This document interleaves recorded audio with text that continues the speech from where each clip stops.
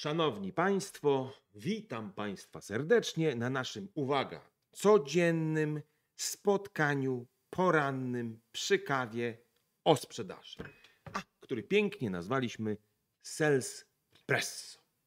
No i pewnie wypadałoby się jakoś przedstawić. Dzień dobry Państwu, nazywam się Krzysztof Rzepkowski. Tak się składa, że jestem konsultantem Sander Training, a zaprosił mnie to spotkanie nie kto inny jak Dariusz Milczarek, chociaż byłem absolutnie przygotowany na to, żeby Ciebie przepięknie przedstawić. No ale skoro zrobiłeś to sam, to ja tylko dopowiem, że Krzysztof jest konsultantem Sandlera, którego nadzwyczajnie szanuję, podziwiam i zawsze z uwagą słucham i dlatego właśnie zaprosiłem go do naszej pierwszej, inicjującej cały cykl, a właściwie proces rozmowy.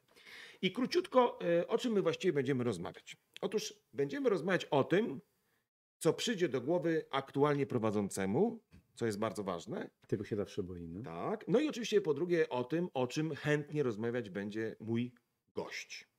A ponieważ gość jest zacny, doświadczony handlowo i szkoleniowo, to chciałbym rozpocząć od Czuję się tematu. dowartościowany, no to możemy teraz już przejść dalej. Taki wiesz, no to zawsze No, taki ja wstęp jest nie, nie, istotny. no to no nie? dobrze robi człowiekowi rana, prawda, że tak się Tak, obudził. ale nie, nie zagadasz tematu, mój drogi, ponieważ No właśnie, ciekaw jestem, co ci do głowy dzisiaj A widzisz, wiesz co, bo chciałbym trochę zacząć od początku. To znaczy, no, można by powiedzieć od chaosu, ale jednak y, od pewnego porządku. Otóż na przestrzeni 28 lat, Mhm. jak ostatnio policzyłem, kiedy to zajmuję się sprzedażą, rozwojem, szkoleniami, y, to nurtuje mnie takie pytanie o to, co zrobić, żeby być mistrzem w sprzedaży. Czyli tak naprawdę no, myślimy o efektywności. Mi się też to akurat takie zagadnienie, co zrobić, żeby ludzie byli mistrzami świata w sprzedaży, jest chyba zagadnieniem, które nurtuje bardzo wiele osób. I oczywiście jest bardzo wiele różnych czynników, które wpływają na to, że ten ktoś jest dobry albo, albo nie jest dobry. Mhm. I teraz to jednak, co wydaje mi się, trochę mnie to frapuje od wielu lat. To jest pytanie, czy rzeczywiście, uwaga, postawa, Mhm. bo trochę o tym chciałem z Tobą porozmawiać, Okej. jest takim najważniejszym elementem, od którego w ogóle trzeba byłoby zacząć tą rozmowę. Czyli takim DNA, tak? Takim DNA. Czy, ta, czy tak rzeczywiście jest, Twoim zdaniem? Sensie, czy, nie wiem, można się urodzić handlowcem. No nie, właśnie, powiedzcie, czy to jest w związku z tym cecha wrodzona? Okej. A jeśli na przykład nie jest cechą wrodzoną, to czy możesz wpływać na tę postawę? Bo przecież zwróć uwagę, że wszyscy do nas klienci wielokrotnie mówią, chcielibyśmy, żeby szkolenie, program i tak dalej wpłynął, zmotywował, spowodował, żeby ludzie byli bardziej aktywni i tak dalej, co by jakby, no cóż, świadczyło o tym, że jednak ludzie traktują to jako rzecz nabytą, albo przynajmniej możliwą do skorygowania. Dobra, to tu poruszasz, słuchaj, pierwszy problem, który widzę. No. A mianowicie, większość firm zatrudnia ludzi tak naprawdę po kompetencjach. Czyli, panie Darku, pan 28 lat w tej sprzedaży, no to pan już tam zęby zjadł, więc pan się łatwo tutaj szybko ogarnie z tym tematem. Proszę, tu pan ma trochę materiały, co my w ogóle sprzedajemy. Jutro pan pójdzie z menadżerem w teren i niech pan zaczyna sam. Okay? A potem się pojawia nagle problem, że taki człowiek ma spadającą motywację. Czyli, że no niby 28 lat doświadczenia, wie co i jak, ale te wyniki jakoś nie są tak przekonujące, jak powinny być. I problem według mnie polega na tym, żeby nie przyjmować ludzi po kompetencjach, tylko przyjmować ludzi po postawie.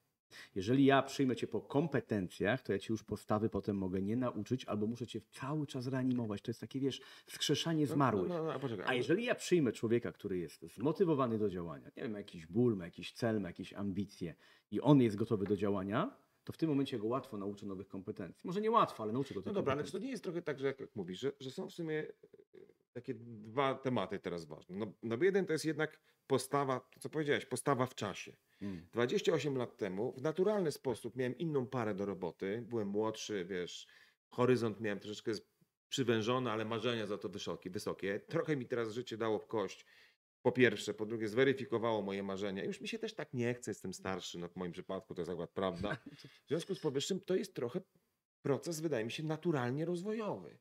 Okej. A druga rzecz jest taka, że jeżeli mielibyśmy y, szukać ludzi po postawie, no to po pierwsze, jakie kryteria, jakie czynniki mielibyśmy wziąć pod uwagę, czyli jakie elementy tej postawy są ważne, i po drugie, Mhm. kurczę, skąd będziemy wiedzieć, oprócz tego, że ktoś powie, ja mam, ja mam, że ten ktoś po prostu takie ma. No tak, to poruszasz bardzo dużo obszarów. Mam nadzieję, że zdążymy je sobie wszystkie omówić. Po pierwsze, to uważam, wiesz co, że postawa jest tylko jednym z trzech elementów, który w ogóle wpływa na finalne potem powodzenie w sprzedaży.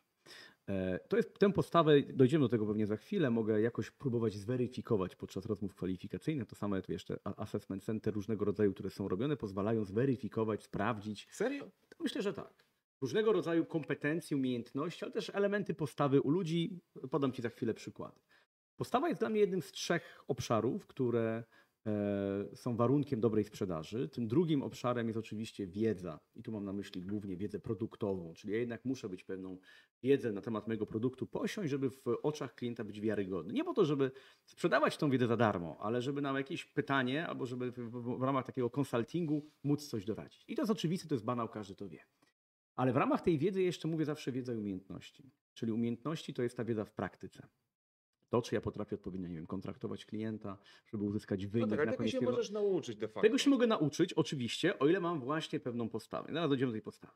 Więc wiedza umiejętności to jest jeden obszar. E, Drugi obszar to są aktywności. Czyli wiesz, no możesz mieć świetną wiedzę i świetne umiejętności, ale jak nie ruszysz w teren, możesz doskonale wiedzieć, jak schudnąć na przykład, Darko, ale jak rano nie będziesz, Ja rozumiesz, przepraszam bardzo. ale tak, ale jak nie będziesz rano odpowiednich Jak po prostu... będziesz pierdzielał z przeproszeniem Tak, kotlety. a, i, i normalnych KPI-ów nie robił. Takich wiesz, że dziennie to 10 km biegam, robię 50 No dobra, pompek. ale to jest właśnie wynik tej To postawy. aktywno- To nie to są- tak? Nie, aktywności nie są wynikiem No postawy. nie, no ale nie, bo... Okej, dobra, są, są częścią sensie- wynikającą No bo zobacz, jeżeli ja, no bo nie, bo to wynika z tego, czy ja jestem zmotywowany, czy ja naprawdę chcę, nie wiem, schudnąć, albo czy naprawdę chcę być dobrym, ef- efektywnym sprzedawcą. W związku z tym jestem gotów na te aktywności, czy, yy, czy nie? No to nie jest wynik postawy jakiejś według ciebie? To jest coś innego? jeszcze? Jest takich cech jak samodyscyplina na przykład, to Mhm. bez wątpienia, natomiast jest też wynikiem, czy ja mam jakąś wewnętrzną motywację. E, A mianowicie moje cechy charakteru mogą być zupełnie różne od Twoich, ale jeżeli jeden, każdy z nas będzie miał jakiś cel, który dla niego jest ważny, nie wiem, chcę coś osiągnąć, zrobić jakąś kwotę, która pozwoli mi na realizację marzeń, to w tym momencie jakby potęga tego celu, tego marzenia, które chcę zrealizować, jest tak duża, że ja po prostu zaciskam pasa.